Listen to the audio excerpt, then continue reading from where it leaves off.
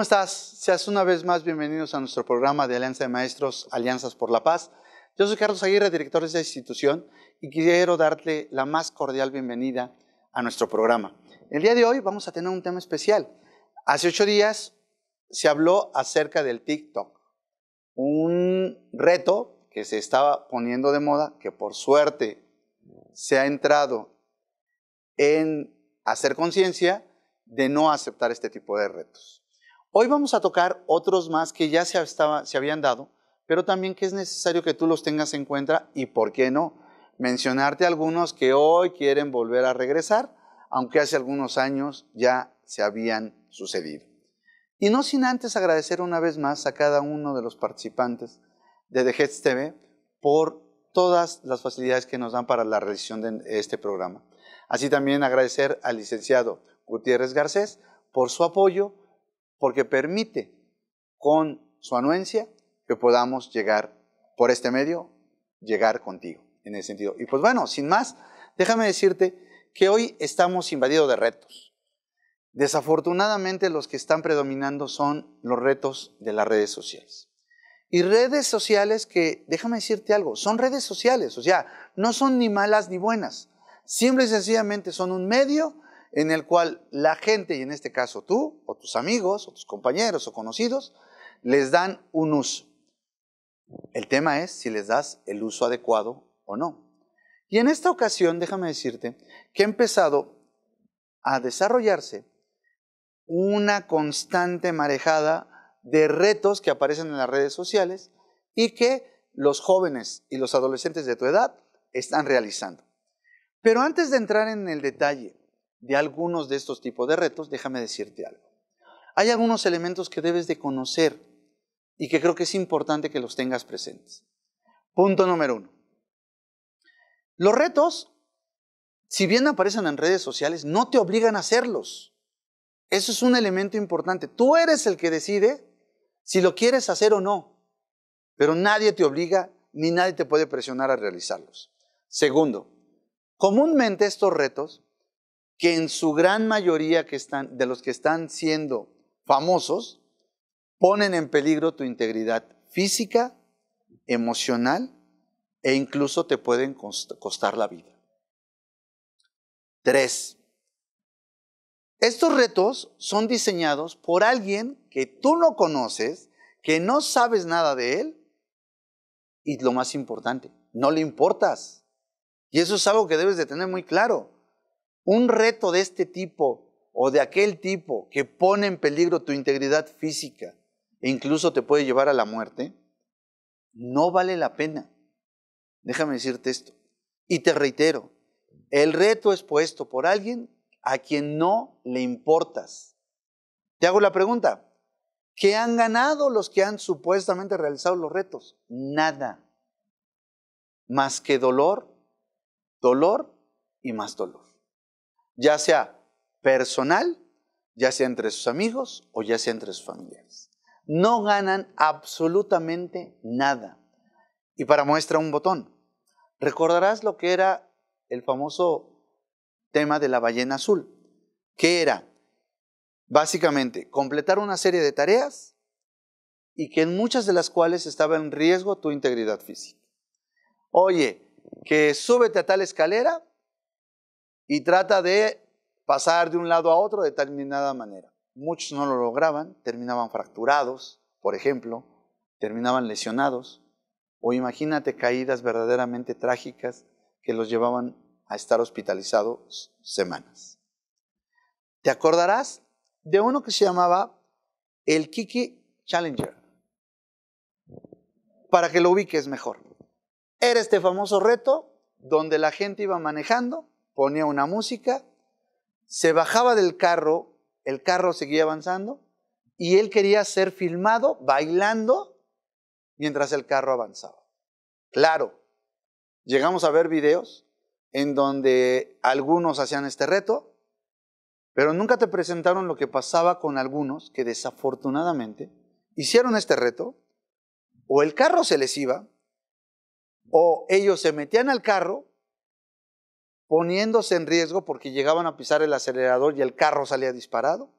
Muchos de, ellos llegaron a chocar, muchos de ellos llegaron a llevarse a gente por delante en ese sentido. ¿Y por qué no decirlo? Este dichoso reto, que no tenía nada de reto, lo único que provocó fue, en varios casos, o la muerte de la persona que manejaba o la muerte de la persona que se atravesaba desafortunadamente en ese momento. Hay otro que se llama el abecedario chino, conocido como el abecedario del diablo, que consistía en el desafío de que los, participantes recitaran el abecedario en voz alta, diciendo una palabra que empiece por la letra correspondiente, mientras otra persona le raspaba las uñas, ya sea con tijeras o con cuchillos, hazme favor.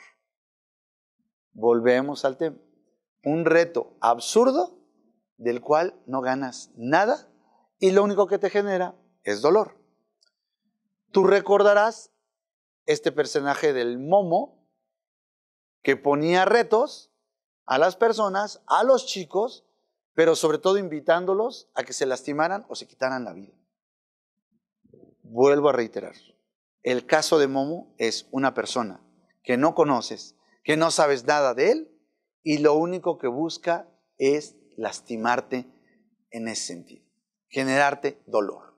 No le importas en ese contexto.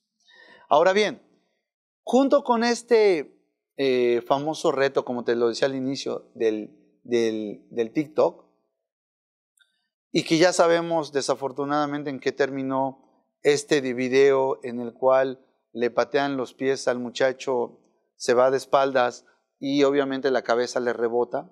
Hoy en día este chico ya falleció, como seguramente tú ya lo sabes. Pero déjame decirte que está empezando a regresar un reto, que ese antes ya se hacía, pero hoy lo quieren volver a poner de moda, en donde ahora, imagínate un compañero tuyo pegado a la pared, otro de tus compañeros metiendo fuerza y presionándole el pecho al grado de que el chico se desmaye. Y así se llama el reto, el desmayo. Pero déjame decirte qué es lo que puede provocar. Una presión en el pecho, falta de oxígeno, te puede provocar desde un desmayo hasta, por la falta de oxígeno, que se pueda generar un coágulo en el cerebro. Pésima actitud en ese sentido. ¿Qué ganas con un reto así? Nada, más que dolor y la gran posibilidad de la muerte.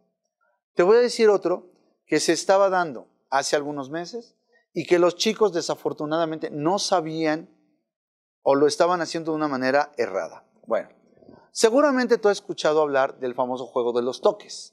Es decir, alguien que tiene una cajita de toques, como se le conoce, con dos tubos que los tomaba una persona y le pasaban toques. Bueno, el juego era que la persona que tenía el control de la máquina iba subiendo gradualmente los toques.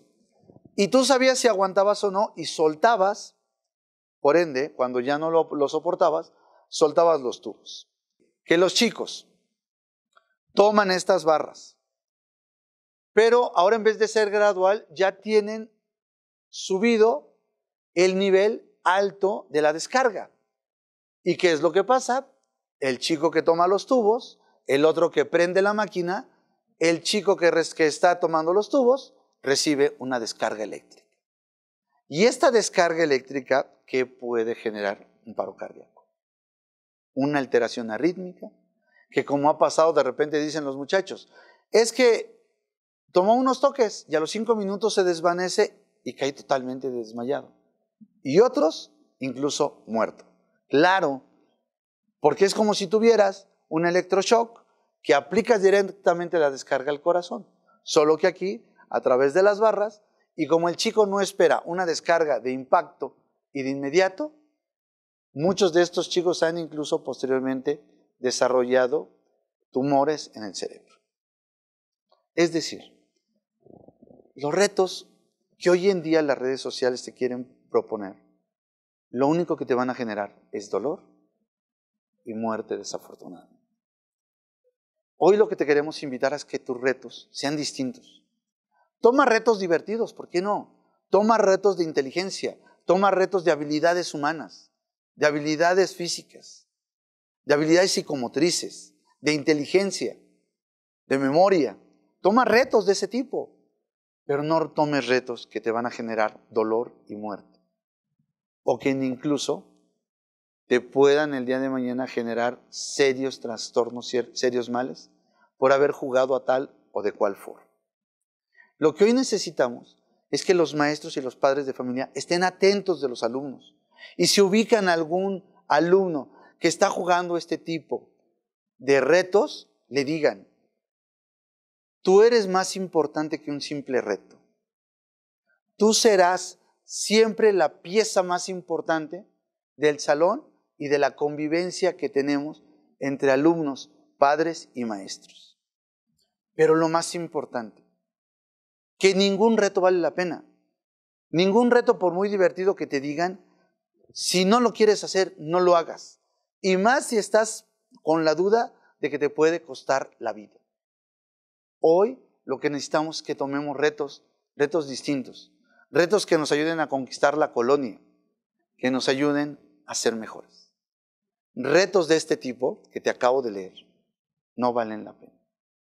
Porque te vuelvo a reiterar, los hace, los diseña alguien que no le importas. Y si te mueres, tampoco le va a importar.